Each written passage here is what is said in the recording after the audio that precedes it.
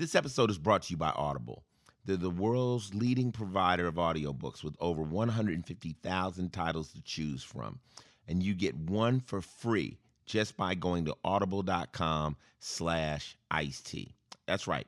You get a free audiobook and a free 30-day trial at audible.com, A-U-D-I-B-L-E dot com slash I-C-E-T, just for listening to this show. You can even get a free copy of my memoir, Ice, a memoir of gangster life and redemption, or James Altucher's Choose Yourself, which I personally have to read because the man's amazing. Real readers get their audiobooks from Audible. Upon initial contact with Ice T's music, I had envisioned him to be an ill mannered and psychologically unstable man with an extremely uneducated and barbaric frame of mind, whose raps displayed nothing but ridiculous jargon, shocking sexual audacity, and repulsive images of the ghetto. However, after further analysis of his music, I can deduce that he is the epitome of anti disestablishment terrorism, who embodies the entire spectrum of the urban experience and struggle. But to make things more plain and simple to the layman, I find Ice T to be the dopest, flyest, OG pimp, hustler, gangster player, hardcore motherfucker living today. To be honest, I am totally and completely on his dick. Welcome to the Ice T Final Level Podcast, featuring your co host, Mick Benzo, and your host, Ice T. Hey, yo, what's up? This is Ice T and Mick Benzo. You're listening to the Final Level Podcast, number 13. Now, who would ever thought we'd make the lucky 13? That's what I'm talking about. 13's always been lucky for me, man. I, Oh, I'm February 13. That is my birthday. I was born on a Friday, I- so it's I- lucky. I go against the grade. You know, I Yeah. always pick pick the odd number, but we are here, and uh, we got a special guest today. We got James Al Toucher. I'll touch her. That's him. Yeah, that's I'll James. touch her. He I'll told us her. the way to learn his name was to say "I'll, I'll touch, her." her. See, Fast. James, I'll touch her. You gotta fast. touch her fast. James, I'll touch her fast. Break it, break it down, Mickey. Who is James Altucher? Oh man, he's a um, shit, an entrepreneur, a blogger. Basically, here's a guy that I've read up on, right? And most of us be talking about how we lose money and and um, you know casinos and things like that. But this man here, he had about 15 million in bank, and then guess what? He checked his bank account; it was zero in it. So you went, bro. You blew that dough. I, I blew it all in one summer. It was like a million dollars a week. You could never, you could never. I was like MC Hammer on steroids. Not to put him down, but I was the worst you could possibly be. Okay, so you ran through 15 million. What happened after that, Mick? After that, I think he decided to do something else and then bring up his capital a little bit more. And he invested in something and made ten million dollars. He got another ten back. That's right. 10 I started right? another company, sold that for for ten. Uh, went totally bankrupt Again? after that. So two-time lost, bankrupt. Yeah, lost two homes, lost my marriage, lost my kids, got them back. You know, everything goes in cycles, but it was hard. Every, everything everything was was hard. I was totally bankrupt. So how you doing today? But uh, what happened was I just said, forget it. I'm just going to start being honest about failure because all Wall Street's dishonest. And I'm going to just start telling what happened to me and how I survived. And by doing that, I figured out what I had been doing wrong all along, and I started doing the right things. And we could talk about that later. But I started living uh, a, what I call the correct life, and I made I made back a lot of. So you stopped touching her. No, I, I still. You got to keep touching her because that, keep, that that keeps you healthy. That's right. That's So right. That's, that's right. gets the uh, endorphins going. So this is like, let's say, let's say, uh, rags to riches, to rags, to, riches, to, rags, riches, to riches, to riches, to riches. to doing better. You you know it's and we talked about this before. You got to learn what you got to learn is that hustling's important, but that also healthy living's important, and the two together is the combination that creates some success. And Mickey, you know how you know when somebody's got uh, made made a lot of money? How can you tell? They're not gonna tell you how much money they made. They're just gonna say, "I'm doing better." Right, That- I'm doing slightly I'm better. That that's the key to the big big number. and he's young. well, dude. because you know, I also money money is just a side effect of correct living. Okay, so we're going to talk to James. You know, we talk a lot about finances here. We're going to get off into that because I believe there's a lot of is an illusion of wealth that's going on out here. James really has actually lived on both sides of the game. He's made it. He's a self-made guy. This is Final Level Podcast number 13. And here we go. This episode is brought to you by Squarespace. They're the all in one platform that makes it fast and easy for you to create your own professional website. If you can use Facebook, you can create a website on Squarespace. I built IceTFinalLevel.com and PBHGear.com on Squarespace, and you should use them too. Start with a free trial at squarespace.com with no credit card required. When you're ready to purchase a plan, get 10% off with the offer code ICE. That's squarespace.com, offer code ICE. Okay, yeah. So now it's time to get into our special guest, James Altucher. He's here. He's a, a hedge fund manager. And, and James, you know, when people love to say the word hedge fund, this, that, and the other, but very few people, including myself, don't absolutely know what the definition of a hedge fund is and what a manager does at a hedge fund. Sure. So basically, it means bullshit. it means I'm going to collect a lot of bullshit from rich people and then spend it on bullshit. And then hopefully they get back more than they gave me. Now, I don't do it anymore. I was, I would say I was okay at it, not great at it. I was okay enough to make some money at it. Um, but you know what I realized? I couldn't sleep at night. Everywhere I looked on Wall Street, and this was like the mid 00s, everywhere was a scam. I couldn't find So a you single. Of Wall Street? Uh, you know, I knew people who worked for that guy, but I, I wasn't quite like that. But every place I looked on Wall Street, and we even lived on Wall Street, every place I looked was basically just dirt and scumbags. I mean, you it, it it had the stink of a smelly whore after a long busy night. You know what I'm talking about? Iceberg Slim. So but James, James, what, what's your formal background? It's, are you a stockbroker? What did no, you no, train no. as? My, I I worked at, at at HBO. I was doing all their web stuff. I built a company that made websites for rap labels, basically. So I did Loud Records, Bad Boy Records, Interscope. So I built. I was doing all the entertainment company websites. Uh, I sold that company for the 15 million. Uh, lost all of that. So I figured after I lost all of my money, what better thing for me to do but invest other people's money? So I started a hedge fund, and that was Now, how did you start ahead without any without I mean, any experience. With no experience. No experience. You just experience. said No I am a experience, hedge no money. fund. No experience, no money. How much did it cost to get into your hedge fund? Um, you had to have a million dollars. I love it. So, so, and I'll, I'll tell you one story. You mind if I tell you one story? Yeah. So I'm raising money, and I'm, I go to this one guy who everybody says you got to raise money from this guy. And I go up to him, and he says, "James, we love you. We'll we'll even hire you, but we can't give you any money." And I'm like, "Why not?" And he said, "We have no idea what you're doing with this money." And reputation is everything for us. The last thing we need at Bernard Madoff Securities is our name on the front page of the Wall Street Journal. So everybody was a scumbag, and that's who I was competing against. And I couldn't raise that much money because all the So you cross paths with Madoff. yeah, I crossed paths with Madoff. My neighbor was his top trader, so it was it was insane Now, did you then. invest any of this money?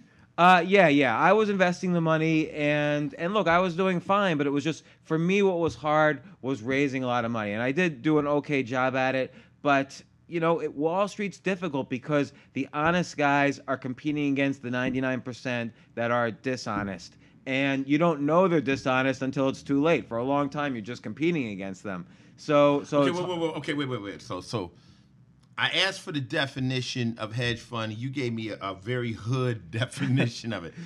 I, did, I didn't mean to be. be no, so no, hood no. with But. I mean, I mean, just for the for the for the listeners out there that want that, that don't know, a hedge fund is basically you're you're you're like a a mega investor. Right, you can invest anywhere you want. There's no restrictions. The only qu- restriction is people have to suppose there's this myth that if somebody has a lot of money, then they're then they know what to do with their money. So you say as the, as the manager, you need to give me a million dollars. I will invest it and bring you back a profit. Right, that's the goal. Period. And I and I was profitable. I did good with that. But the but you're competing at raising money, and the guys I were was competing against were all people who were illegally making money. So you have a guy you can't compete against a guy like Madoff until he's caught. Right. So until he's caught, it appears like he's a genius. Right. So finally, I had to get out of that business. I started another business, sold that. Uh, so I started an internet business, sold that for 10 million, lost that money because I was just an idiot over and over again. And I you- really earlier you said you were blowing a million a night. I would a love million to- a week. I would love to hang out with you when you were blowing a million a week. I bet you was doing some crazy thing. Oh my The God! Wolf I don't Wall know. Street, I don't baby. know. I don't know if we're if if this is podcast. Don't incriminate legible. yourself. Don't incriminate yourself. But a million a week is is is is is balling. But- but that's by why- any standard. That's why I had to say finally, okay, I had to be honest, and I had to say, well, what was I doing right when I was going up, and what was I doing wrong when I was going down? And the key was, and I do this every day to this day, I check the box on physical, emotional, mental, and spiritual health. And I, if I stop for even a day, I can feel myself slip. So that's what I call the daily practice every day: physical health, emotional, be around people you love and respect. True. Mental health, be creative every day, and spiritual health, be grateful for what you have. Real. And that's how I live. And then you know what? You know what happened after that? Money became a side effect of that. I made more money than I ever had before, just as a side effect of just doing this. I do what I love every day with people I love, mm. and and that is of enormous benefit to me. Sometimes I don't make money, sometimes I lose money, but I'm still doing what I love every day. And it's like what we were talking about earlier. Not everything feels good every day. There's no way to eliminate stress and anxiety and worry no matter who you are. Uh-huh. But you know, if you stick to this daily practice, you you survive and survive to the next day. Well, you know what? It's, it's interesting you say that because you know Mickey and I we come from the other side of the track where every everybody's not honest. People are trying to take advantage of other people and stuff. But there was a point in my life where I just said, you know, we not doing that no more. we not doing that no more. And we don't accept no negativity. If anybody comes around us talking about ripping this person off or stealing, we we don't get down like that. And we struggle sometimes to win, but we don't have that cloud hanging over our head of the, the double cross or the do low. And people do low to us. You know, and people are like, oh, well, these guys are going to retaliate. We don't even do that. We just like, you know what? We're so busy trying to keep it positive and move forward that we follow pretty much what you're saying right because you've there. been there, right? Like you've, you know, you you can o- only in the valley of failure do you sow the seeds of success. So you've been Mm. Say there. that again. Only in the valley of failure you sow the seeds of success. Mm. You plant the seeds of success. And you've been there, so you know how to plant those seeds of success. You don't want to go back into that valley, but it's every day you got to tend to that garden. Mm-hmm. So, or else it'll wither on you. And I've seen it happen. It's happened to me so many times.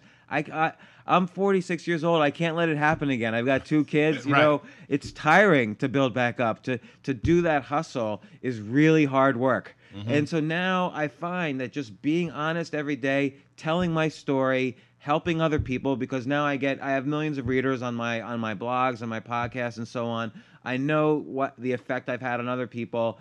This is what feeds me, feeds my soul and now feeds my family, knock on hmm. wood. How can people find your blogs and your podcasts? So jamesaltucher.com, A L T U C H E R.com. Yeah, my podcast is on iTunes, The James Altucher Show, or my book Choose Yourself or The Power of No, which I You just didn't bring wrote. me no book. I, we meant to actually. I'm gonna blame it on. I'm gonna I want to read your book. I'm gonna, I'm gonna How send many it to you books guys. published? Eleven. Yeah, I've done now. This is 12 books because we have another one just coming out. Mm-hmm. But uh, choose yourself and the power of no, which I did with my beautiful wife. What's beautiful the wife first one I should read? Ice Choo- choose yourself, Choose yourself. and then the power of no. And I'm gonna send you both. The power of no. Yeah, because it's hard to say no, right? Let me right? tell you a story. Can I tell you a quick story? I wanna hear it. Uh, uh, this is a, tr- a true story. When I first became semi-successful, I'm making records and stuff like that. It was a time where I couldn't hold food down. I couldn't hold food down. I would eat and I would throw it up. I was so nervous. I had a nervous stomach. what what year was this? What were you doing? this was back when I was doing, you know, power album, my, my early rap albums. But you know, I was overwhelmed with people, you know, wanting things. So uh, I went to the doctor. I thought I had an ulcer, you know. So I went to the doctor. The doctor, went gastric guy, went in, looked at me. He said, "Now your stomach is perfect." So he sent me down the hall to a a, a psychiatrist that deals with athletes, an athlete psychiatrist. So the guy sits there. He says, "You know, Ice, I'm a fan. I won't even charge you for this consultation." He, so he sits there and he says, "This is what I do." I got Major League Baseball players that are going through divorces, multi-million dollar divorces, but they got to hit that ball that night. They got to learn how to compartmentalize and get things away from what they have to do.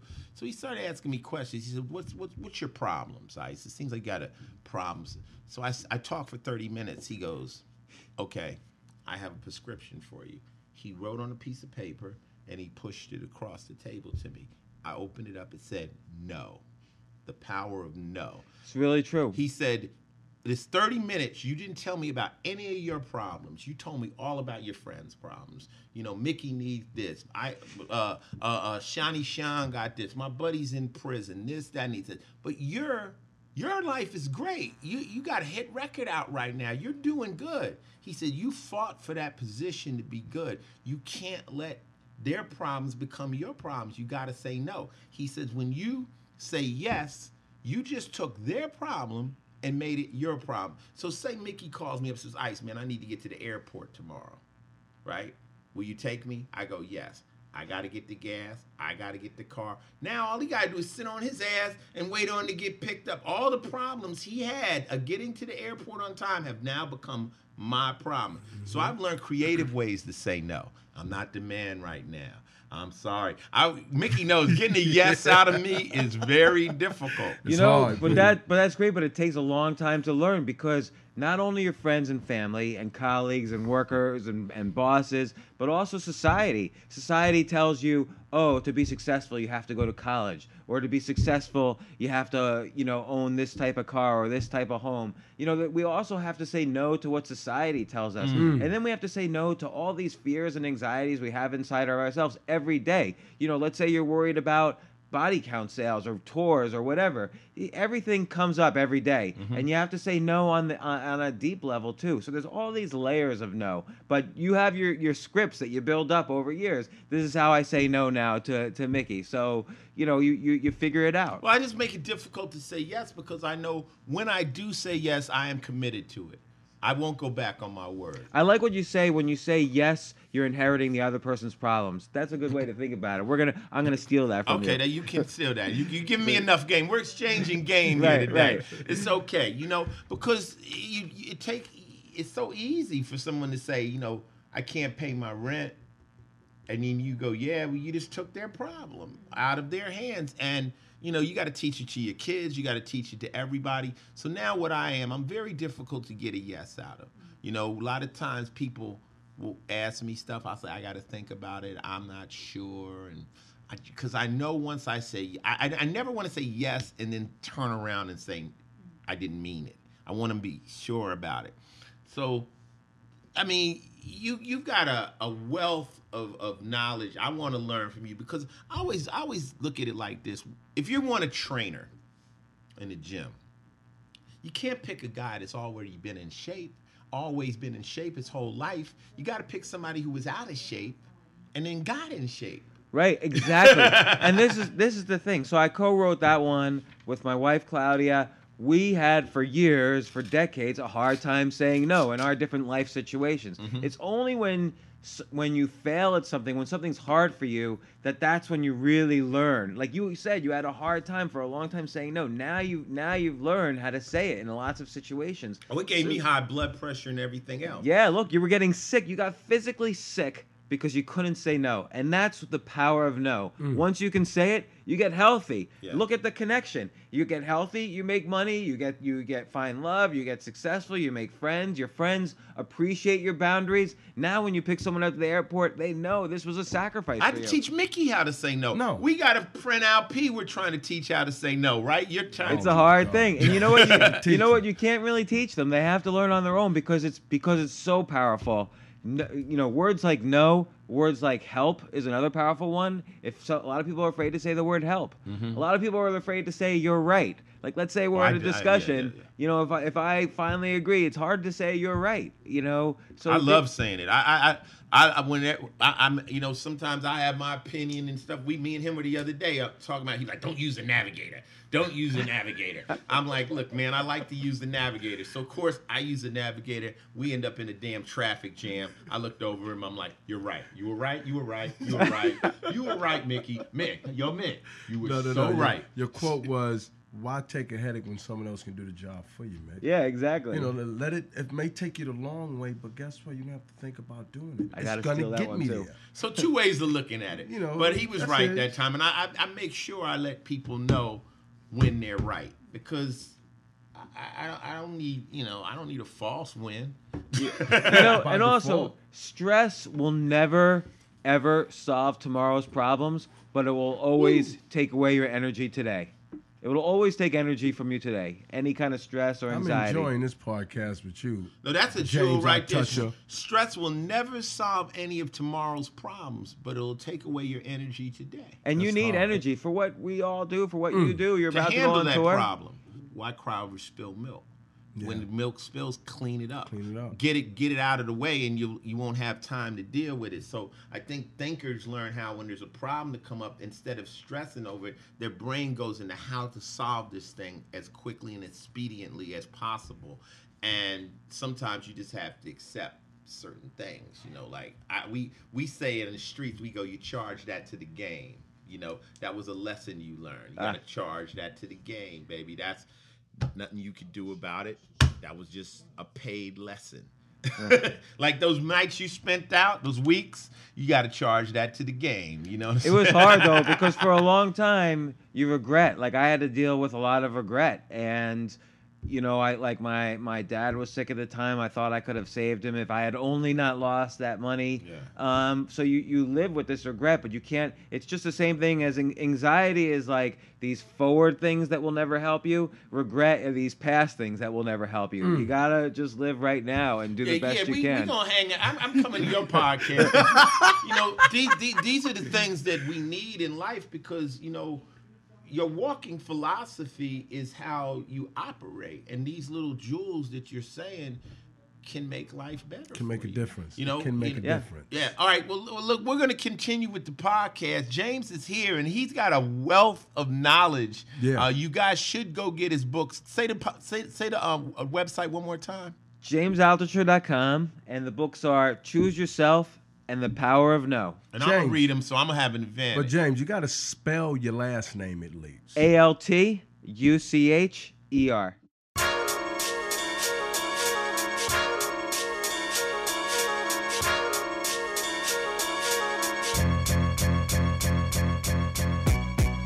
Hey yo, this is Final Level Podcast number 13 with James Altucher. We got my man Mick Benzo in the house, and this is music. Oh shit! Music is the key to life, baby. Well, Woo! Body Count album's been out a week. We have uh, over 450, probably by the time this thing comes out, about four, maybe 500,000 views on the uh, Talk Shit Get Shot video. That's on YouTube. Yeah. Yeah, but I'm not really happy with the sales right now, and eh, you know we're in a we're in an area where you know years ago, you know you might move 50,000, 100,000 copies in the first week, you know, and nowadays it's difficult to move records. And uh, we were talking to James earlier, and he was saying that you know we're in a free society, and people. They'll love you. They're your fans, but they want things for free. What were you saying? Yeah, your free audience is going to kill you. Yeah. Basically, once you start asking for money from them, they're like, "Whoa, where their loyalty is all gone." Oh. but that's happening in every area of entertainment. Like you look at the numbers on TV shows, Mm-hmm. you're never gonna get like the finale of Friends again with like 50 million people watching. You look at books, how many books sell more than a few thousand copies? It's, Mm-hmm. The number, you know, is going down and down for every area of entertainment. Same thing with music. The only way you tell me, the only way you can make mu- money on music is nonstop touring. Absolutely, and, and, and you know when uh, the record labels came out with the 360 deals, where they want your merchandising and they want a piece of the touring and all that, you know, people are like, well, dang, you know, the record labels labels want so much, but it's almost the only way they can actually recoup. Why do you do a deal with a label? Because it used to be the labels would get you in like Tower Records. Yeah. But now there's no Tower Records. Yeah. So why don't you just sell it on your own or sell it on Amazon or whatever? it's complicated, but sometimes the record might record label might be the person that will give you the advance to help you record the album if it record, it costs money. Uh, also, they do provide maybe a little bit better um, marketing uh, structure than you might have out of your own bedroom. You know, they can get you the the Rolling Stone uh, interviews and all that. They've got a good PR. Well, But can't you get yourself that? Like, can't you just no, call no, it but, Rolling but still, Stone? record labels still have an outlet for radio because you're playing. Ah. let's just say you're playing. I'm just gonna make up. We're playing Kisser record. Let's just call it Kisser, right? I come out with a record, love it. I call that same program director, say, look, you're playing this record already. We already do a little bit of things for you. We take y'all on trips. I need y'all to put this in your. They can your leverage So they actually another can hit help you. band. that Yeah, When you're doing it independently, it's very, very hard to even get your record into a DJ's hand. So a record label still has the advantage, like Ice was saying, to get you those great interviews versus just Louis Louis on the internet versus a Rolling Stone. Which one would you much rather do? Louis Louis or Rolling Stone? I can get you Rolling Stone. I can get you on the, the Power 105, the Z100s, because it's still a record label. It still exists. But you know what, James? The problem still remains. Whether you're absolutely indie or you're on a label, people aren't showing up to buy music as it stands. It's very, very difficult. So now you have to sell your t-shirts. You got a nonstop tour. You got to get in front of them because the live show is similar to like what you were saying about sports. You can't, it's hard to steal it. You have to witness it. You have to Right. be there. So now, whereas we would go out on tour and you might be selling a shirt over here, what your record label wasn't concerned with. Now the record labels are the ones selling your shirts and they're selling your CDs at the show. At the show, like point of purchase right there. So they're doing everything they can to actually move it. But with the pirating, with the MP3s and stuff like that, people can get their hands on the record. And it's almost at the day where music is actually free. And uh, so body count, we're going out. We're leaving July 5th. We're going to go on the Rockstar Energy Drink Mayhem Fest across the country, 35 cities. We're going to play a big metal fest up in Montreal. Then we're going to do the GWAR-B-Q, play with GWAR down in um in Virginia and stuff like that. And we'll see if that generates more sales. But with 100% nothing but great reviews, fan reviews. The only way we're actually going to move numbers is for the fans to actually help push this record. Well, I think the fans will help push when they see, as Jim said earlier, that live show. Yeah. They won't want to have a download. They're gonna want the official record. They're gonna want that album in their hands when they see what body count brings to them. Then they have more respect and love for the brand. They be like, you know what, I'll buy that. But I, when I listen to it or I see a YouTube, it's just a YouTube. I can download the free. song. So if I see it live, it may make me run out and buy the album. So we and are- We'll be on that Rockstar Mayhem Fest the whole tour. We're also going to be on Conan O'Brien. We're going to do Conan O'Brien next week. And then we're also going to do Craig Ferguson. Oh, yeah, We yeah, did Jimmy Fallon. God bless Jimmy Fallon. You know, put us on NBC. They don't let metal or rock on NBC. They put us on. That's just my hats off to Jimmy Fallon. Those are millions and millions of people. So we're going to go out there. We're going to put our best effort forward to push what what everyone says is an incredible album mm-hmm. and stuff and we're going to see can we push up the numbers but right now in in, in, in in the world we're in if a record can sell 100000 copies that's like platinum Yeah, yeah. Because like like Jim said, there's no Tower Records, you know. So it's just I wonder if there's something now. like you can do where you set up a site where if they buy it and enter in their order number, they get something free. Oh, Ice is doing that on his tour. Yeah, we're doing all kinds of stuff. But we might need to talk to you hedge fund man because we need we got we need to break this record business back open. And you It's know and I- possible. and I, and you know what it is though jim james? I i i, I trip off of we're a, re, a, a relatively established group I- I wonder what it's like for the young cats that are out there just starting off. They got their little website up and they, they got a little fan base and stuff like that. It's got to be extremely, hard. extremely It's hard. hard. But you know, some though, like you look at like Iggy Azalea, she comes just from YouTube, right? Or you know, some of these guys get like 90 million views on their on their records, and that's how they blow up. Yeah, but that's pop. I mean, on their videos. But that's pop. Mm-hmm. See, if you step into the realm of pop music, then anything can happen. But if you're hardcore, if you're underground and stuff like that, see, it used to be a time where if the if, if your friend knew about the record, it wasn't cool. You know, when we were starting to sell rap, it was all word of mouth. Like, this is the Two Live Crew. This is something you can't get. It's not on radio. Now, this new generation of kids, they feel like if it's not on the radio, it's not good. Well, let me let me ask you about that. Like you take the 80s when you were starting, 70s, 80s, 90s, and then you move to now. It feels like rap in general has moved from delivering a message to being pop, you know, disguised Absolutely. by marketing. Absolutely. And, and how do you how do you compete against that? Like these guys got super marketers behind them, whereas you were starting out delivering a message that doesn't exist anymore. Only thing you can do is hope that you can create another trend.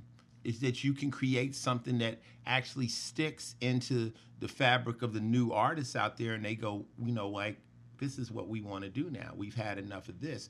Um, when Body Count first came out, we were in the the uh, the season of Public Enemy. We were in the season Sure. of Rage Against the Machine. Groups of that nature. Those groups don't exist, but it's not like there's not a feeling out there that people are kind of fed up with the pop stuff right now. So somebody's got to kind of step out and say, "Hey, you know, try this. You might like it." And um, you know, that's my job. That's my job is to go out there and take the first lick and put out a conscious an album with some good stuff on it, and we'll see what happens. We're, we have no fear. We've been here before. Well, well, well let, let, let me ask you again. And again, um, I'll say it on the podcast. I'm a huge. I grew up on 6 a.m. in the morning, Right, so right. I was there. But why why do it? You see the obstacles, and yet and uh, and there's no obstacles on your TV side, so you can just keep doing Law and Order. Why'd you decide to do another album and really kind of get get back in the mess It's just here? for the love of the music. Mm. It's just the love of the music, and it's also because you know you can't just sit back and complain about stuff. You just can't sit back and say, "Oh, they're not doing this right. They're not doing this right." You gotta you gotta ante up. You gotta show them how to do it, or how you would do it, or how you feel it should be done. And music is always going to be something that's really dear to me. You know, I tell people I act for the money. I make music to remain sane. So there's nothing like being able to make an album and go out and be in front of a live audience. So it's something I truly enjoy. It's like the theory of retirement. You know, people say, well, stop. I'm like, what I do, you don't retire from. What I do, being in front of people, acting in movies, uh, making music, you don't retire from that. God, that's a, those are dream jobs. You retire from the job you think sucks, and you're just making the money, and you're like, fuck it, I can't wait to cash out on this and quit.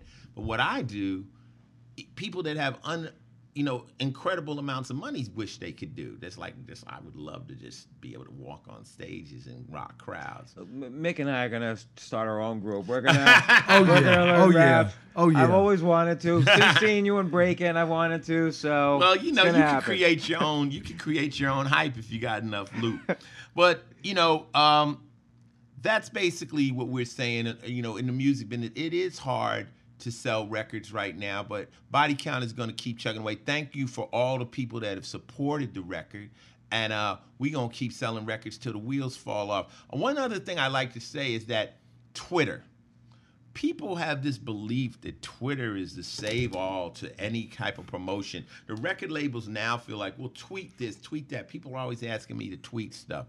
Twitter is a very interesting machine because whatever you say, if say you got half, I got like half a million followers. Right.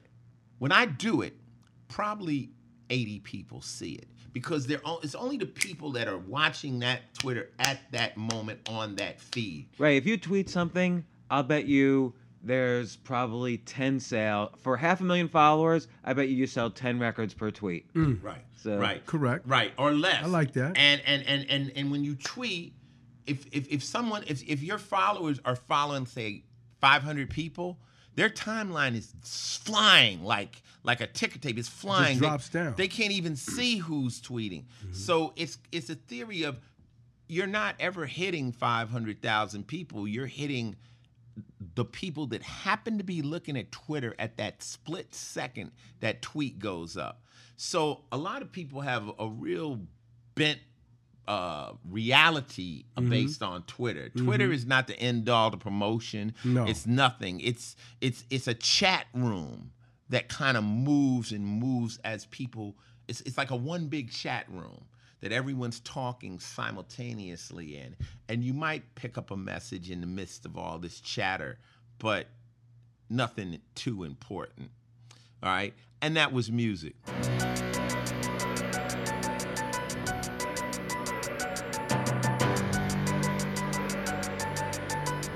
Final Podcast number 13. Ice T, James Altucher, and Mick Benzo here, the wonderful Mick Benzo, the world's famous Mick Benzo. And this is the segment we call Philosophy. Oh, this is gonna be good. This is gonna be Because good. we have another philosopher yeah, here. James and Ice. This is gonna. The be philosophy good. segment comes from my Twitter feed, which is at Final Level, and I do this thing called the Daily Game, which is just my daily philosophy. And yesterday I posted one that says, "Life is hard for everybody," and um, there's an illusion we live under that somebody has it easier, whether they got more money or they come from this family or that. But every human being has their own deck of problems. You know, I go through them sometimes when I'm in my sleep. I'm thinking about this. I'm wondering, worried about my kid. I'm worrying about this. Maybe your health. All of us have our own deck of problems no one is living stress free. It's just part of life. And I think one thing that amplifies your stress is thinking somebody else doesn't have the problem. And that's why like if you if you deal with like people that are say alcoholics, mm-hmm. They put you in a group of people that have the similar problems so you don't feel alone. I think that loneliness amplifies the problem, especially say young kids, young girls like your daughter going through high school. They're going through problems. They think I'm the only one in the world dealing with this problem. And mm-hmm. that amplifies the problem. No, you're not. And so every time I get in a problem, like I'm not the only person going through this. You know, a lot of people are dealing with this, and I got to learn how to deal with it. I mean, how, how do you feel about it, James? that that's why it's such a cr- well well two things one is what's the worst punishment when you go to jail solitary confinement they know that after a few days at first you think you know and i've i've never been to jail so i'm just Right, right, right. You're right, but though. but at first you think oh it's going to be great i'm going to be by myself for a couple days think things out but the reality is you're going to go crazy in solitary confinement you can't be by yourself and the other thing is so important to emotional health you're the average of the five people you have around you. So you always want to be you always want to be around five people you love and respect and who love and respect you. And that's how you keep your health up. That's how you keep your sanity up. You can't fight the stress, but you can you can at least reduce it. Time heals all wounds, but you can reduce the time. and it, it all boils down to perspective. And when you're going through these issues and stuff, you're always like, man, you know, this is the worst it could be, or this is it, this is that. And getting around somebody who's been through the same situation helps mend you. You know, if, if I'm going through something terrible and Mickey has been through it, he is basically the one, man, I've been through it and he can help walk me through the problem. That isolation you're talking about, that point where I just go, I'm the only one and no one else is going through that, that just takes it to this this scary place. You know? So one of my my, my mom uh they used to say is that if everyone you knew was in a room and we all threw our problems up in the air, I bet you'd reach for yours on the way down because you have a grip on your problems. You understand it. You don't really know my problem is. You know, I might think Mickey's looking, living better than me, and I reach down and when I grab his problem, somebody's out to kill him. I didn't know that. You know what I'm mm-hmm. saying? Or he mm-hmm. picks mine up and it's cancer. You mm-hmm. don't know. And I always used to say, people want other people's money, but not their life. Mm. You know, you can easily say, I would like to have Bill Gates' money. But do I want to be Bill Gates? No, I want to be Ice T with Bill Gates' money. We like who we are. And again, and again, like money is just is just a side effect of living a good life. Absolutely. And I I realize everyone's got to pay the bills. They need money to do that, but that comes from living a good, healthy life in all these different ways. I'll tell you one interesting statistic: the average kid in America laughs 300 times a day. The average adult in America laughs five times a day. Wow. So something happened between childhood and adulthood that took away all the laughter. And that's what we really need to do to bring back into our lives to, to help reduce it. Can't get rid of the stress, can't stop wanting what we don't have, but we can at least laugh more, and that will help. Well, I also break down life. I break it down into what you need and what you want. There's two different worlds, you know, what we need. And until you have what we basically need, then it's hard to be creative. So, I mean, people need shelter, people need basic food, right? And it's good to have companionship. Those are things we, we need as humans to function. If you can get those three things, then we can get creative and stuff. But when your brain doesn't have one of those three things, it's in a whole nother survival stage, Right. which you know, one of my records in the body count I said survival makes you bloodthirsty. When people don't have those three things, it's hard to be artistic and creative because you don't have a place to live or you're hungry or you know you have no friends you know so if you have those things you know then it's basically what what do you need you need a roof you need a few pairs of out clothes you need food right mm-hmm. that's all you really need You know what's probably like on the borderline between needs and wants is a sense of achievement. So at some point, for instance, you decided in your life, you know what?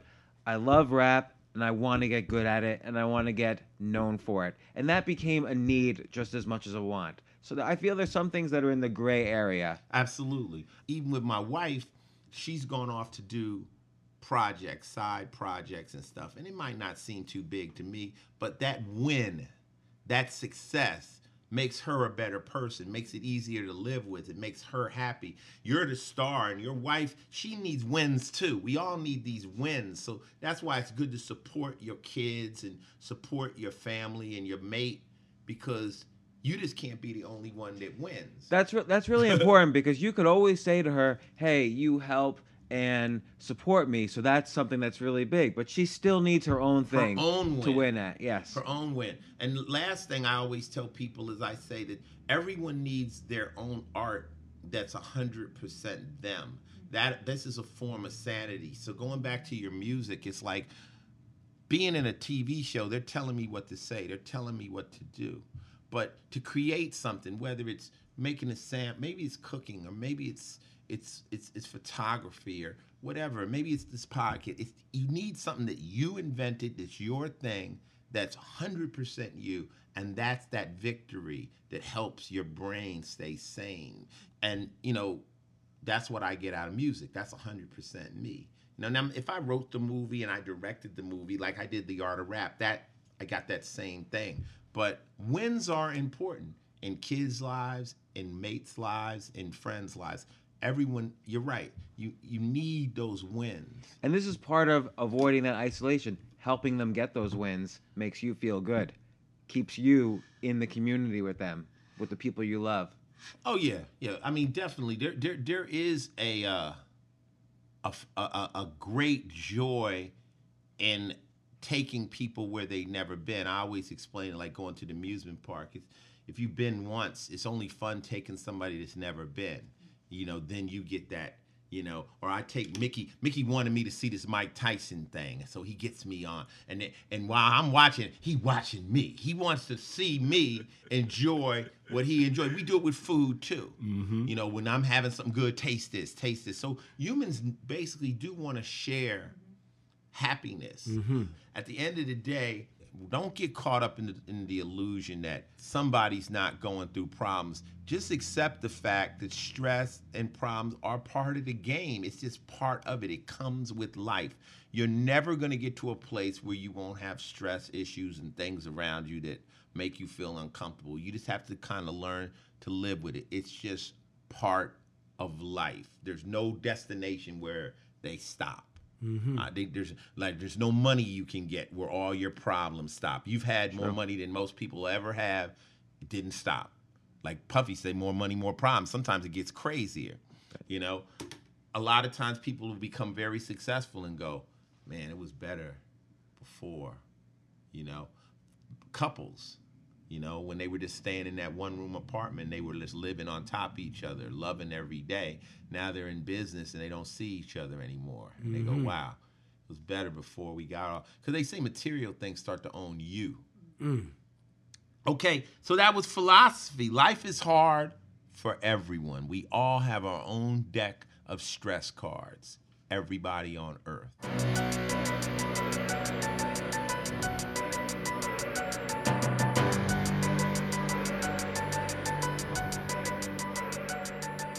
Look, James and I have been dropping a lot of game on this episode, and the thing is, is that you don't necessarily have to simply learn from your mistakes. You can soak up game from those who've already lived it. I used to always say, dumb people learn from their mistakes. Smart people learn from other people's mistakes. The most valuable thing that James and I have to offer isn't our money. It's the advice that we have utilized to make us successful. And we give that game away in our podcasts and in our books. That's why you need to listen to audiobooks on Audible. You can listen to your favorite audiobooks on any device your computer, tablet, Android, or iPhone. WhisperSync even lets you switch devices and save your bookmarks so you can pick up where you left off each time so you don't miss a word. It even lets you switch between listening and reading so you can go back and forth between your Kindle and the audiobook without losing your place. Don't forget, if you order an audiobook from Audible and decide early that it sucks, you can call them up and they'll let you swap it out for another book free of charge. Audible is the world's leading provider for audiobooks with over 150,000 titles. They literally have everything, including my book, Ice, a memoir of gangster life and redemption, James Altucher's Choose Yourself, and The Power of Now. Now that's the business. For a free audiobook and a 30-day trial, go to audible.com slash icet. That's A-U-D-I-B-L-E dot com slash I-C-E-T. You'll be saving money and you'll be helping to keep this podcast free. Thanks again to Audible. Right now, you're listening to the Final Level Podcast number 13, and this is TV. What you watching on TV now, Mickey? Well, right now, watching one of my favorite movies, I Dream of Jeannie. He watches I love it. old I fucking TV. love it. I, I have an animation cell from the original sequence, the I original cartoon love I sequence, Dream of signed Jeannie. by Barbara was Eden. sexy. Oh, Barbara Eden was the finest of all.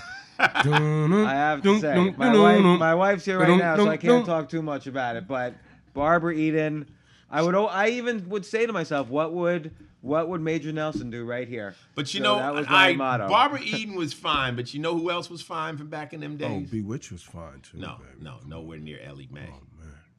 from Beverly Hillbillies. Oh shit. Well, yeah, you might as well be at the Dukes of Hazzard. I Eh, love my Ellie damn- Mae. All right, look, we're having All our, our, our Yeah, this is child my TV thing. This is my our TV TV thing. sex No, wait, girls. uh, Thelma on Good Oh, Times. see, Oh, oh, so see, you was see, oh, he went you black. Was, oh, you was in love I- with a black that was woman. Thelma was that was up there with Barbara Eden for me. know what I've been watching? I've been watching. You know, I told you I like Snap. Right, right, right, Snaps, right. Coco watches Snap. Snap's the show we've talked about. It's about women killing their husbands. I figured, well, if she's watching it, I goddamn better be watching it so I can understand some of these techniques. They poison them, hang them, cut them up, do all kinds of stuff. They got another show called Snap Killer Couples. Snap killer couple. Yeah. So in other words, it's a boyfriend and a girlfriend, a husband and wife that goes on some kind of wild sex murder binge, and it's crazy. And it's real? Like, it's, they That comes find on. these? What, This what is channel that shit. comes on? Oxygen Network. And it's it's it's sick. Oh, Put that's it into ladies. Yeah. So the Oxygen Network was like the network originally for women by women, Yeah, and it's for all about ladies. like Murder. murder, murder. Oh my god. Murder. murder. She wrote. Well, you know, uh, me being on SVU, I do know that you know, in, in, in as far as abuse goes, uh, more the bigger percentage is men beating their wife. All right, that's the bigger percentage. Domestic violence. Um, right. But the bigger percentage is women killing their husband. That's domestic so violence, Women too. kill us more. But We that's hit in the- defense, right? Yeah, that's their defense. So, so in other words, the guy that's going on hitting his wife, she got something for him, and it ain't another punch. Mm-hmm. It's a knife. It's an axe. It's something. But they kill him Because for, because the guy's fifty pounds heavier on average, so Exactly. she can't. A punch is not going to work. She got to Right. burn him up. She got to hurt him worse. So one of your quotes a long time ago, you say you might as well be angry with a bag of dope. At least it won't wake up and kill you. If you're Yeah, with yeah, that yeah, yeah, woman. yeah. On this show, two, a guy and a girl. They go out. They decide they want to just go on a, a crime spree. It's all one. One of them was actually based on Natural Born Killers, mm. the the movie, but it's wild. It's called Snapped Killer Couples. If you're into something weird and crazy, tune into that. Another show I've been watching is The American Ninja Warrior. Now, there was a, a show called Ninja Warrior that was on G4 TV. They do it in Japan That was a game show.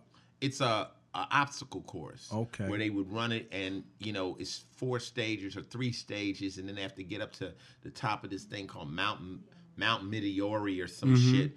Uh, they brought it to the United States, and it's fun to watch. So it's similar like Wipeout then, like a Wipeout. Wipeout is kind of more silly. Okay. Wipeout is silly. This is real. You know, you Real got Olympic obstacles. athletes trying to win this, and all kinds of parkour runners, and all these guys that are in gyms, and women too. Mm. And you'll look at it and realize how how much you're not in shape. What an obstacle. yeah, yeah. You know, I'm a little older than a lot of participants. I think I can do some of the obstacles, but not all of them. They got them hanging by their fingertips Uh-huh. Oh, and doing stuff. But I advise it. This is an ICE advice. Check out American Ninja Warrior. I think that's on the Esquire network. I think it is actually coming on NBC too.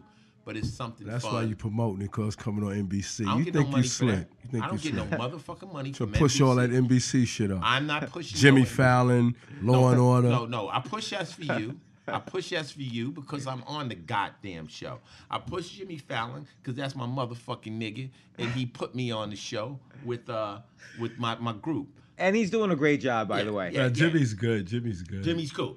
As far as the rest of the network, no, I'm not pushing the network because that doesn't benefit me. I'm just pushing good shows. And American Ninja Warrior and Snap Killer Couples, put them in your DVR and tell them I sent you. That was TV. It's Final Podcast number 13 with Mick Benzo. James Altucher. We in here talking philosophy, all kind of great things. Oh, And- education today on this podcast. yeah, right now we're about to go into movies. Oh, now, shit. we're only going to talk about one movie. This this one is called Think Like a Man. Now, it's coming out this week. It's directed by Tim Story.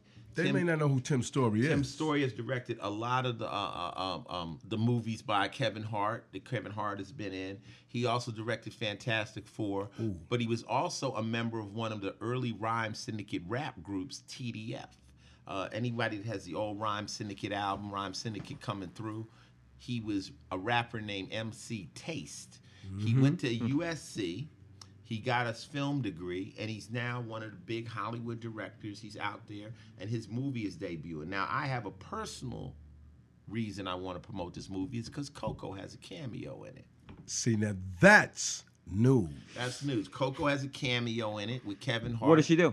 Uh, she's in this. There, there, it happens in Don't Las tell. Uh, Vegas. uh, uh, uh, uh, James, It movie hap- comes out. It you gotta go happens see in Las it. Vegas while Coco was out there doing her burlesque show, Peep Show.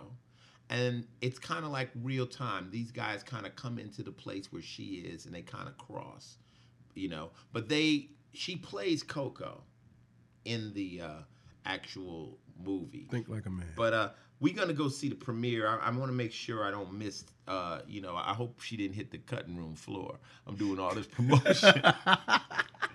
I'll tell you a funny story. I went to see this movie, um, and uh, there was this guy sitting in front of me, and I'm like, "Yo, you in this movie?" He goes, "Yeah, yeah." I we're at the premiere. He's like, "Yeah, I'm the rapper in the club. I'm in the rapper in the club. Yeah, yeah, yeah." So he all ready. So when the, they showed it, it was the movie 50 Cent was in with Robert De Niro. Anyway, when they showed the scene, you only seen his feet. Right, The- like the camera never panned up to the stage, so you seen his knees and you heard somebody else rapping, but that was it. So I'm sitting right behind him. So when the movie's over, he didn't turn around. He just got up and he walked out, and I politely didn't say anything to him. They had him in a fishbowl. So uh, go see Think Like a Man. Uh, Coco's in it. Say no more. and that, was movies. Oh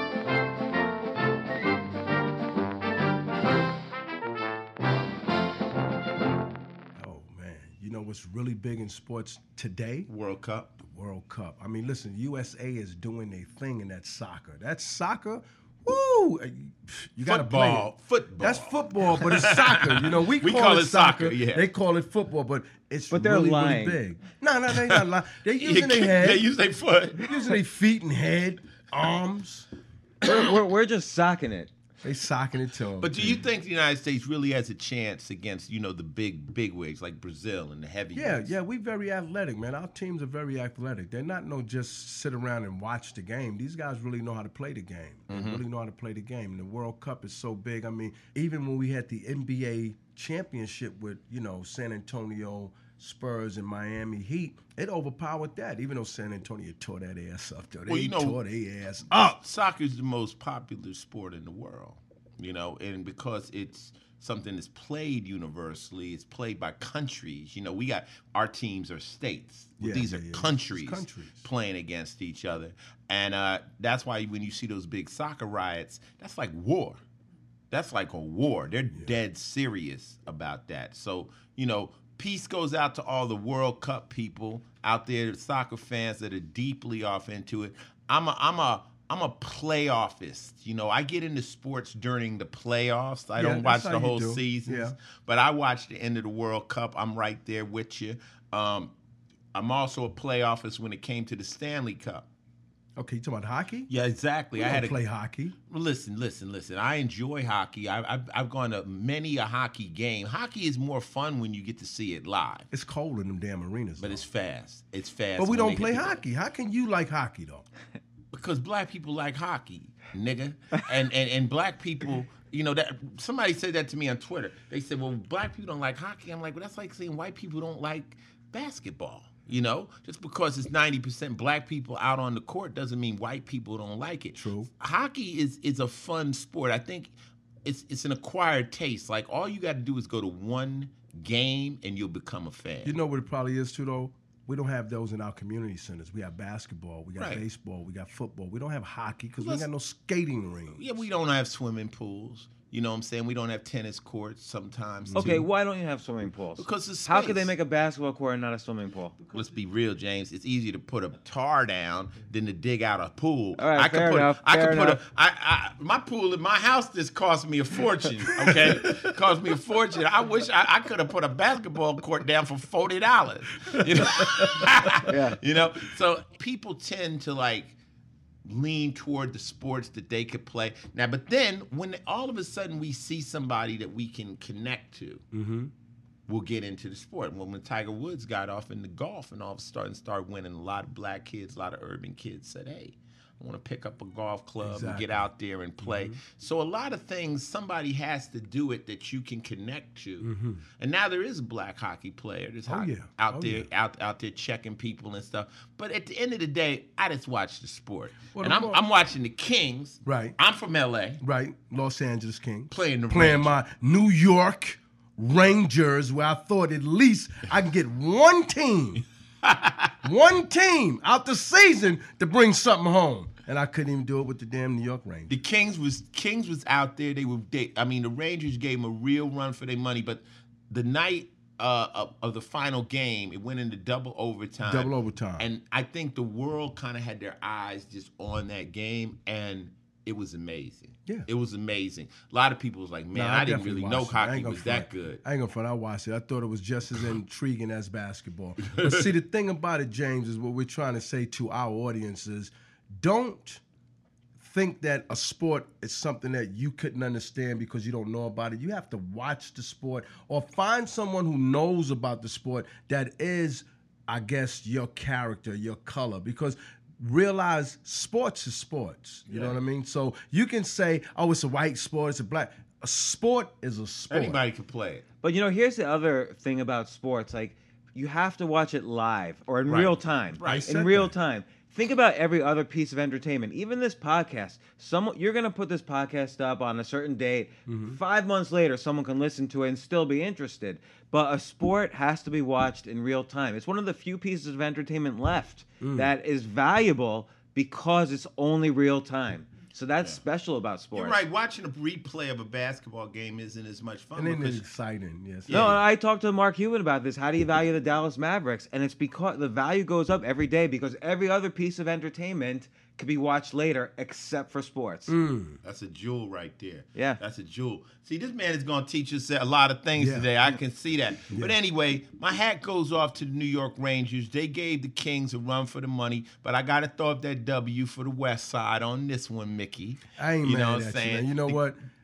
It's called competition. The Kings Your team won. was a little better than mine this year, but uh, we'll see them next You year. You know, as rappers, we've been rocking the Kings outfit for years. You know, Yeah, uh, Rhyme Syndicate. Rock- Yeah, we we had the. Kings hat on back in the day, so it's a good look, black and gray, just like the Raiders. yeah. Shouts go out to all the Stanley Cup participants and uh, take some time if you're not in the hockey. See if you can go to a game. I guarantee you you'll enjoy it once you're down there by the ice. Wait, why in LA is it all black and gray? Like here it's like blue, red, white. Orange. We're like patriotic. Yeah, we, yeah, in we New got York. colors over here. We got we got your record over here, colors. What's black and gray? There's not even a cloud in LA. Where do you? How do you even know what gray I looks don't know. like? I think I think the Kings actually stole it from the Raiders. The Raiders came in with that hardcore black and gray, and then I think the Kings kind of ripped them off and stole it. But look, don't worry. The Lakers got on some happy ass purple and yellow. I don't know where that came from. So we got our colors too, and that was sports. This is one of the favorite segments of the Final Level podcast. People seem to really uh, appreciate this one, and I invented this. This one is called "I'm Not a Hater, But but, I I, hate hate, shit." shit. Now, the definition of a hater is is someone who's jealous or envious of somebody. You know, this is not that. This is things that just fucking bother me. Okay, and I hate commercial airlines. Okay, I've been very fortunate in my life that I've been able to fly private occasionally. Certain times I'll take a private jet. But once you've flown private and you go back to commercial, it's a nightmare. First, you got TSA. Uh, I always leave something at the TSA thing, my phone or something. I always have to double back and run through the goddamn airport.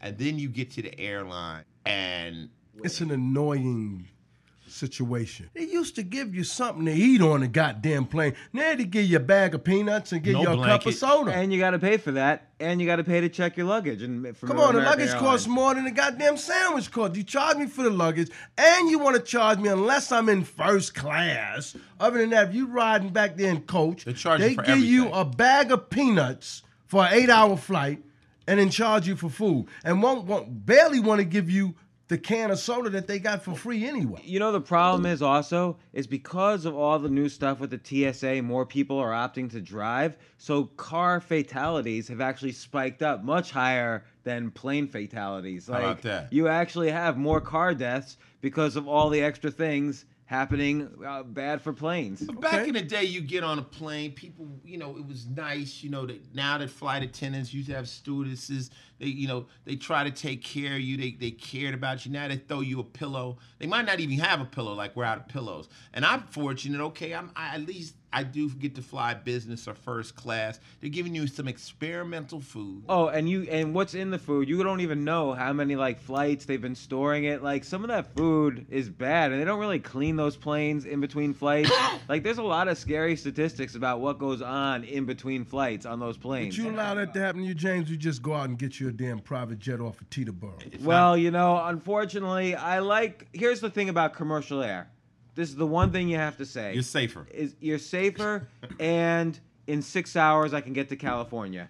Like that's that's for the first time in the evolution of the human species, I can go three thousand miles in six hours. So I'm grateful too for for commercial air. I mm-hmm. don't hate it as much, although I I, I, I just, do I, just, agree. I just hate the way they, they they're able to treat you. They're able to treat you in a way that, you know, you you have no recourse. You know, if they, if they decide they cancel your flight, say for instance, you you got to get to work. Well, I'll give you an example. We were in um, Chicago.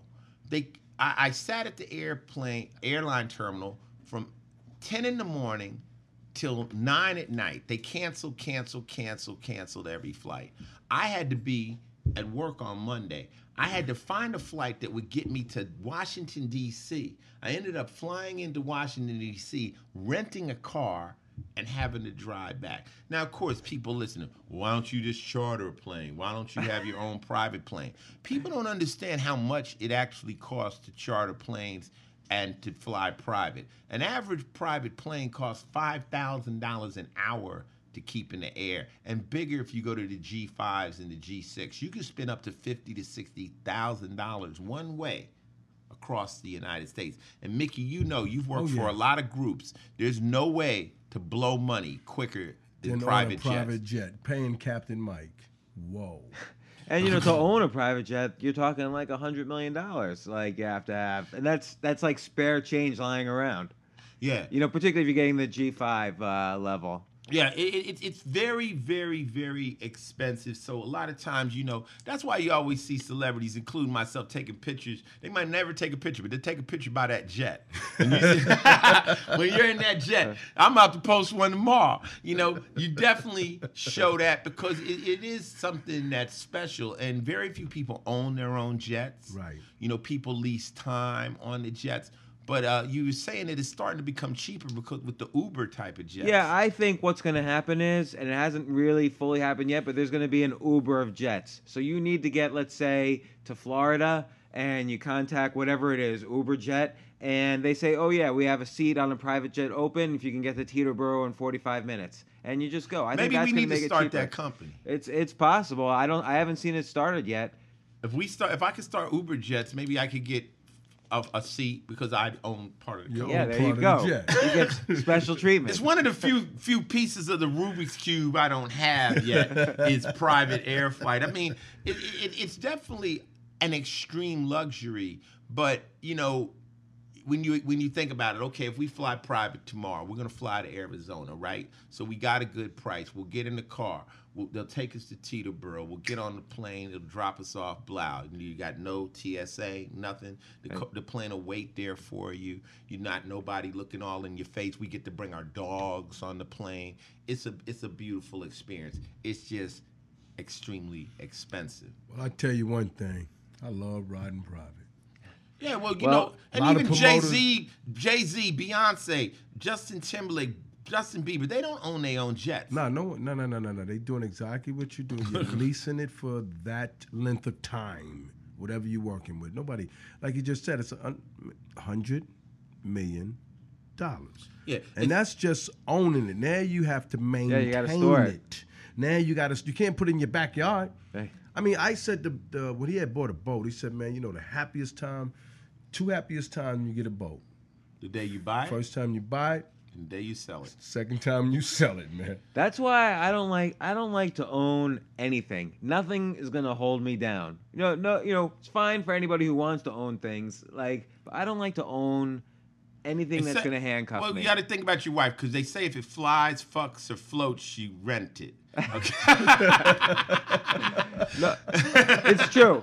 I don't own my wife, but she she she owns me. So, all right, so all right. that's okay. That's one of the rules. But you know, I I I I fly I fly commercial, and it's one of the moments where you know we we me, we, we might get a ticket, and they they like okay, we got you guys tickets. They got me sitting over here. They got my wife sitting way on the other side. Then you got to negotiate with the people to try to Yeah. move your shit.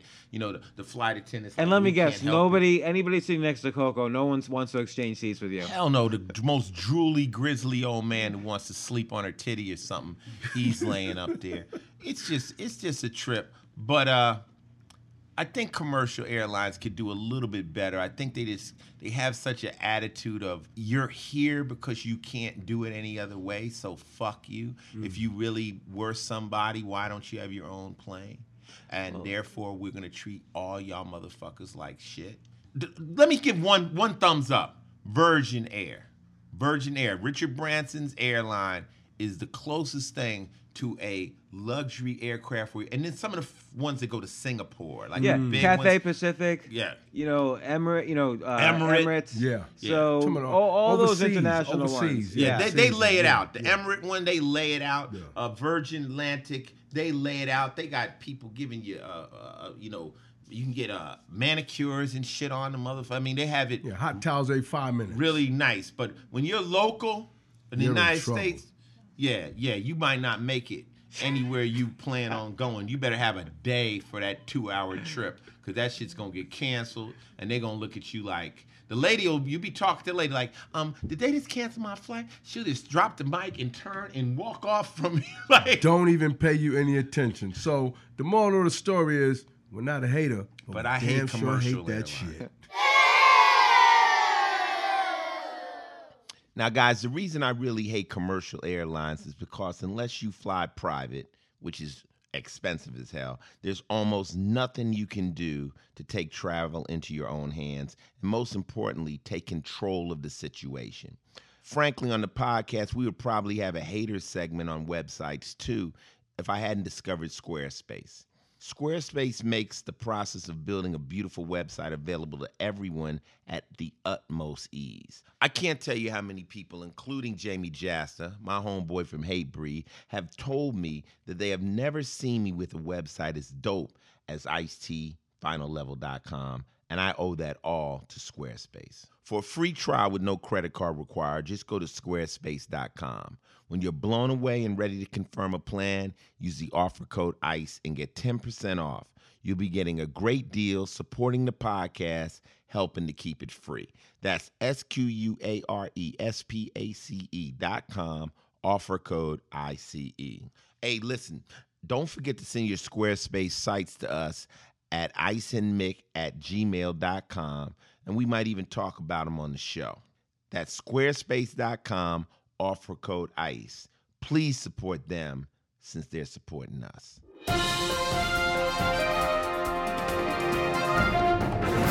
Okay, yo, this is the Final Level Podcast number 13, and this is news.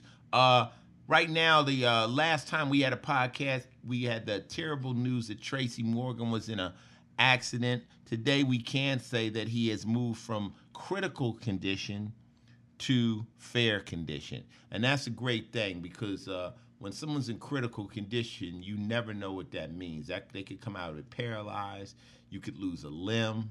And, and and we don't want anything like that to happen. I mean, my man was minding his business in the back of a, a, a basically a limo van and gets rear-ended by a semi. And come to find out, they say that the driver that semi had been driving for 24 hours. See, what kills me though, Ice, is when they say that is like, how the hell you know I've been driving for 24 hours, and then how you gonna tell me I fell asleep behind the wheel? Well, they know. they don't they, know they- that. Yeah, they do know that because he has to log in.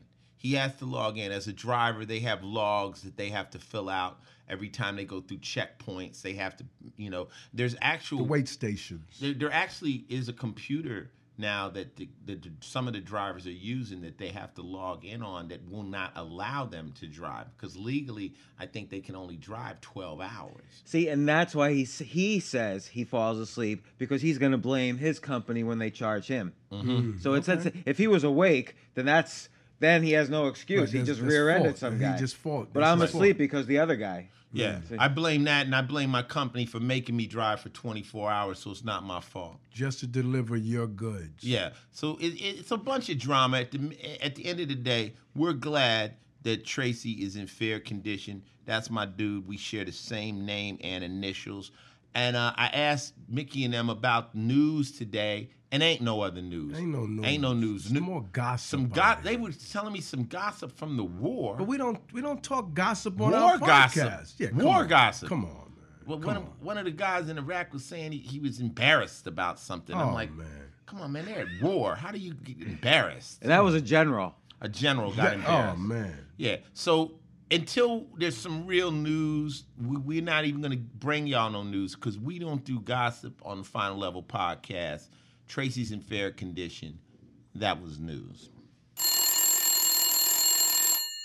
Hey, you're talking to Ice T, Mick Benzo, and James. Altucher. What you want to uh, talk to us? What's happening? Who's this? Yo, what's up, Ice? What's going on, fellas? This is Jake Wilson. Where you at, Jake? Where you calling from? I'm I'm at uh, Carmel, Indiana. I uh, no, I wanted to talk to you, Ice. You are an Army Ranger, right? Yes, sir. Uh, what do you think about what's going on in Iraq right now? You know, with uh, possibly going back to war with them, and uh, I just wanted to see, you know, what what were your thoughts, you know, on, on what's going on over there right now? Well, you know, the problem is when you're in the army, basically, you could be deployed at any minute. You know, you're like the police. Of course, us being the United States, we're like the police of the world. So, you know, at any moment, uh, you know, our politicians can make a decision to send people to correct whatever problem they think is going on in the world. Uh, my allegiance is with the soldiers, you know, not the politics. I mean, most of the kids that are in the military are 19, 20, 21, and they're willing to risk their lives for patriotism and whatever the United States believes in. I just hope the United States as a government really makes the correct decisions and doesn't send any of our troops in harm's way when it's not absolutely needed. You understand what I'm saying? Because none of the guys making those calls are actually going to go out there, as we say in the military, downrange. They're not going to go downrange. They're going to send somebody else down there, and it's a very easy call to make. So I, I just have to hope they make the right decisions. Yeah, man. I'm just thinking. I mean, is it really even possible for us to, you know, create a stable government over there that can, you know, police the area? You know, I mean, it's trying to erase thousands of years of history. I mean, that place is just wild over there. You know what I'm saying? Yeah, I don't think so. Personally, I don't. yeah, I don't think so either. But I don't really know why we continue to do it. Uh, you know, we'll go over there, we'll have a, a, a situation, and then we'll leave, and it'll just go back to the way it was. Um, the Middle East is always going to be in turmoil. It's been like that since biblical times. It's, it's just a, a wild place. right on, man. Right on. Well, good. Uh, good luck with the tour and everything, man. I hope all goes well. Uh, I hope the record sales are. I'm sure they're. I'm sure they're pretty good, but I hope everything goes well with y'all. I love the podcast, man. Thanks for answering the question. Thank you for calling. Peace. This is Ice T, podcast number 13. Who am I talking to? No way. No, this is Vlad from the rainy city, Seattle. Seattle. Is it raining? Nah, not right now. Actually, it's pretty sunny out here. It's a pretty nice day. Surprising. Do you have a question? Yeah, man. My question is because I know James Altucher. I don't know if he's going to do his uh, QA session today because I, I like to participate in that. But uh, Ice T, actually, from your perspective, I don't know if anybody ever asked you this, but how has your perspective changed as a as a businessman? You know, maybe my age. You know, I'm 23 right now, but maybe in you know 10, 10 years, you know, or so. How's your perspective changed? I don't know. You just become uh, as you get older, you just become more methodical. It's just you just not as emotional. You know, you you understand that sometimes slow and steady wins the race. You know, you it's I always say it's not as, it's not about how fast you go forward. It's about not going backwards. James knows a lot about going backwards. You know, If, if you can keep, if you can keep a slow progression forward, I, I feel like somehow you you avoided a lot of the crap that I went through. Like, how did that happen? Because probably the crap that happened to you would have killed me. You know what I'm saying? What happened with me is business wise, I really realized early in the game that I don't need an extreme amount of money to have a good time and have a good life. So I was very comfortable just finding my niche, you know, doing my thing. You know, I live in a small apartment, I don't need mansions and stuff. And I'm happy. I, I pretty much can do everything I want. Business wise, you just have to realize that most of the people you're going to come in contact with will be crooks and liars and cheaters. And, and you have to weed through all them because it, you know, it's just very hard to find honest people in business. It's so true. Well, I mean, I think the natural question I come up with is then, how do you, uh, you know, weave through? How do you separate the, you know, the crooks from the real people? Uh, I'll say one strike and you're out. Like, don't give people too many chances to to rip you off. Give them a small chance. Give them something to feed on at first. And if they snap it off too quickly and and rip you off, then that's it. Yeah. And, and you know, it, it's, it's interesting though, because the people that really have a lot of talent are less criminal. You know, people that are confident about themselves and really have talent, they're not they're not the ones. It's the people that are on the sidelines and they, they know they gotta take it right now and they gotta get it it might be their last chance. Those are the more wicked ones. You know, I've been ripped off left and right, but I don't really trip because I know I'll be able to create something else wonderful. So my, I'm not as scandalous, you know. But I met people on the sidelines that'll just, you know, they'll cut your dick off. They don't care. You know, they're they're, they're really scandalous. You, you're, you're, you just you're just gonna have to take some licks. But I, I agree with James. One strike you know, one strike. Mickey knows I'm on the one strike level now. I gave my buddy two strikes and almost got killed. You know, because uh, one of my buddies crossed me and I, nah, that's my man. And the second time I was at gunpoint. and what happened then? Well, you know, I, I made it out of that, and you know, I mean, it's it's it's uh it's one of those things. You know, his life didn't continue much longer after that because that was his particular get down. And he didn't really, from crossing me, he was crossing a lot of other people. Well, it's like, it's like you said earlier. You can't, you, to hustle, you have to be legit. Otherwise, it's gonna pull you in. You're gonna Yeah. sink. Yeah, but I, but the, the, the particular person that crossed me, he crossed other people. Like we call that your get down. In other words, if I'm gonna rip you off, I'm not just ripping you off. I'm ripping everybody off. So maybe you just let me slide. Somebody else is gonna get me. He's not gonna be able to continue this behavior indefinitely. Mm-hmm. And you know, I had to learn that too. You know, so there's so many lessons. My advice would be anytime you could get around somebody like me or James or an older person, a person that's been in the game for a minute, try to suck them dry of all the fucking game you possibly can. That's the only way you can get that experience quicker. Is you know, if I could sit with Rupert Murdoch or one of these OGs, you know what kind of wealth of knowledge they have? It's just Yeah. it just it only comes from experience, man. And, and that's just it, Vlad. You're 22, and it's gonna happen in both ways to you. You know, so you can't sweat it in either direction. There's a lot of experience. There's a big roller coaster ahead of you, no matter what. my belief is have an honest attitude about it. You don't have to rip people off. You don't have to have that bloodthirsty technique. You can be honest. Only keep honest people around you. Those people that want to try to do it the slick way, they're going to bring you down. They're going to connect you to something that's not going to last. It might seem quicker, but it's not going to last. You want to be able at 30 to say, man, I've never crossed one motherfucker ever. And you're going to that's that's the way you do it. You do not have to cross people. I didn't. I've never crossed people. You don't have to cross people in order to be successful. That's that bullshit. Very respectable, Ice T. You know, I respect that a lot. And um, you know, I could talk to you guys for, for obviously for hours. But I guess the other question I think people naturally my age would have is, how would you connect with uh, you know like a Rupert or, or you know even one of you guys? What's the value proposition on my side? How should I present myself? Just honest. Just be just like yo, man. I mean, there's nothing anybody likes better than somebody eager to learn. You know, it's just timing. It's like people like us are moving and we got other things happening. But if you ever get a chance to get in there, you know, sometimes I'll speak, I'll do lectures and stuff.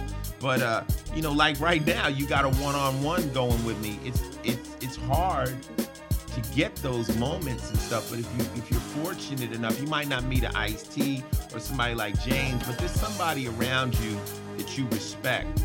Just walk in there and say, "Yo, I'm young. I just need to know the game. Uh, what can you give me an, an advice?" Listen, man, when I was in the streets hustling, I used to do that to players. I used to walk up to players that had the nice car in the street, the pimp or whatever, and say, "Yo, man, give me some game, man. I need some game." Let me tell you one of the best, one of the games I got from a, a street cat. He was a pimp, and he was in a wheelchair, and uh, he had rolls and everything. And I was like, "Yo, man, listen, man, I, I need some game." I'm looking at all this flash. He said, "Let me tell you something, young player." He says, "If I wanted to cut off your hand, could I cut your hand off for a million dollars?" Said, nah. He said, how about two? I'm like, hell nah. He said, then he touched me on my chest. He said, but you'll jeopardize this entire body for $500 out here in the streets. He said, this is your castle. This is your mansion. This is your roles. Never jeopardize your body. I'm sitting in this wheelchair. I give you everything I could to stand up and walk. Don't jeopardize your body for anything. This is all you got.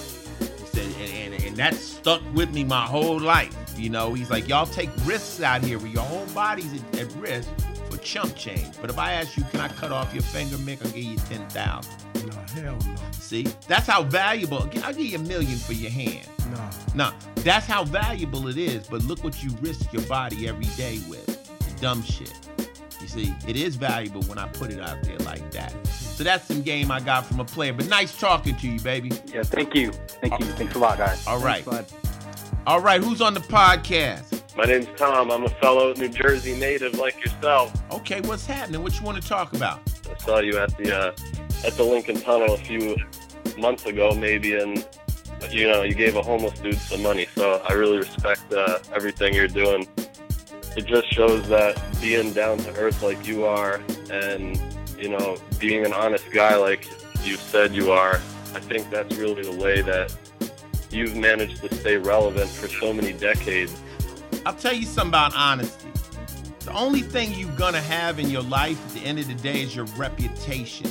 Your reputation is what your kids are gonna live off of. Your reputation is what your family's gonna live off of. So if if, if you if I'm an asshole and I ripped everybody off and I I I, I got so much money but I die, my kids live in the in the echo of an asshole, a, a, a, a, a dirty bum. They I they inherit my fucked up reputation. You know, fuck the money. They, they they inherit my reputation. But if Ice is a good dude, Ice never did this, Ice didn't cross this, Ice is that, then my kids inherit that. So it's very important. And in business, the first thing we check out is people's reputation. You know, we when I'm gonna do business with James, the first thing I'm gonna do is do a background check on who is he fucked. Right? So you About about Michael Jordan level, so you know it's hard to. No, just kidding. Yeah, but you know, that's the thing. So you can't go out and start your career off doing low and doing dirty, being a photographer, overcharging people, ripping people off, running off with their prints and all that shit and think that's gonna get you anywhere. It- Trust me, I'm the one that gets ripped off, man. So I'm trying to, you know, I'm trying to The real key is also is honesty compounds. So that's what prevents you from getting ripped off. Is because it's, if you're speaking true words, then the universe is going to speak true words back to you. And it sounds kind of corny, but it's really true, and that's a good way to avoid getting ripped off in the long term. I agree. And James, I just want to say one more thing. I love that I discovered you through Rich Roll, and I have been following you since that. And I'm just so happy that I found your books and your podcast because even just listening the other day to the Steve Scott podcast, I've been inspired to start writing small ebooks because that's something that I feel like I can contribute to the photography world.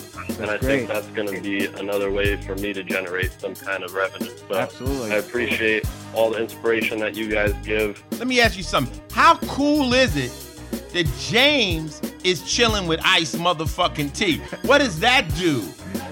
It's really cool. crazy and i and i saw that on twitter and i was like i'm gonna stop everything i'm doing right now and get on the phone i would never call into anything but i was like this has to happen I think So my- I i, think can't my- believe i'm on the phone with you right now I thanks so much for calling, and my brain is like exploding right now. So this is this is really cool. Yeah, a- and, that, and that's the thing. You know, positive people are gonna draw toward positive people, and you know, magic can happen. You know, in a negative will draw toward the negative. You don't believe that? Go go check somebody's somebody who's an asshole's uh like website. Everybody on there that follows them are assholes. You know, yeah I, you know my dad says assholes of a feather flock together They do. Yeah. They do. They do. We, we, in the streets, we say water seeks water. Real recognizes real. That's that's what it is. You're gonna seek yourself out. You know, you're gonna find yourself. And you know, me coming from the streets, as soon as I get around people and they come with that negative shit, I'm like, I've been there already. I've been on the dark side. I know where that leads to. So I can't really fuck with you right now. You know, I'm not on that channel no more. All right, nice talking to you, baby. Peace. And we out. And that was the last call on the Final Level podcast. Mickey, I mean, you know what I'm saying? We come on your podcast and have some fun because, I mean, th- th- this is what's beautiful about life. It's like you know, me and you come from different Yeah. opposite places, very similar philosophy, Yeah. very similar. You know, you've had your exploits in the in the business world and this. I've had it in music. I was talking to Russell Simmons one day. You know, Russell, he'd hustle him up close to a billion dollars. You know, and he was doing his thing, and I was like, "Damn, Rush, like we started at the same time." And he, I said, "Yeah, you did very well for yourself." He said, "You did too." And I said, yeah, but I said, what we were talking about money. I'm like, yeah, but you got more money. But he said, but who had more fun? You know, that's just it. We we talk about this every day, really. Like, I could go out and like start the next hedge funds or Silicon Valley companies, but I love every single day. Yeah. And you know, and I have what I what I want and what I need. Yeah, So yeah, exactly. what else am I gonna buy? Like a 747 or something? Right. So you know, that would just be a drag, like to to maintain. And it's also hard for you to meet people because the thing of it is, is when you connect yourself to a price or, or numbers. Like I would say, Dr. Dre. Everybody heard. I, I bet his phone just burnt up and melted in his hand. like Yeah. you know, because so it's it's it's it's it gets crazy as far as meeting somebody who really it just wants to be your friend or doesn't want anything. You know, and I, I all my business partners, I know, I tell them, I say, look, man, we we get our shit. We don't don't share. don't angle nobody. If we meet somebody that's our friend, we just keep it there. Don't be angling every goddamn person you meet because you know people say, well, how are you friends with these people? I'm like, I'm friends because I don't need nothing from them. Yeah, that's exactly it. That's exactly it. I, I I help my friends, and then the group grows. We'd like to thank everybody that's been a listener. We've been doing it now. This is 13, Lucky 13. Uh, the reason our podcast is growing is because you are telling somebody else about the podcast. When we started this, they said most of our podcast listeners have never listened to a podcast before. So we're helping the whole podcast community by bringing people in with what we'll call alternative programming. Uh, I'd like to thank James Altucher for being here. He's he, He's got a wealth of knowledge. I got to hang around this motherfucker a little bit longer, pick his brain. You know what I'm saying? What who you want to sign off to? I just got called motherfucker by Ice T. That's a, uh, my bucket list has been When achieved. street, went, to, to really make it, I call you my nigga. Now Oh, you shit, really see? made it, yo. Now I'll you touch in. it. Now a you in. motherfucking nigga right here. Hey, look, y'all, y'all keep telling a friend about the Final Level podcast. That's icetfinallevel.com. And do me a favor, y'all, fellas, talking to y'all and only y'all. Maleawarenessfoundation.org. Please do me a favor. Go read up on it. Go read up on maleawarenessfoundation.org. You can catch James JamesAltucher.com, A L T U C H E R.com, or The James Altucher Show on iTunes, or buy The Power of No, or choose yourself. That's it. The man's got it together. We're here. Body Count is available on iTunes, Amazon. Support the record. Don't just listen to it. Spend nine dollars. You can spend that at motherfucking White Castle, motherfucker. Get the album. Give it to your buddy that needs to grow some balls. We out of here. That's how, that's how, that's how, that's how, that's how I'm living. That's that's that's that's that's that's how that's how I'm living. That's how that's how that's that's that's how that's how I'm living. That's that's how I'm living. That's that's how I'm living. That's that's that's that's that's that's how I'm living. That's that's that's that's that's that's that's how I'm living. That's how that's how that's that's that's how that's how I'm living. That's that's how I'm living. That's that's how I'm living.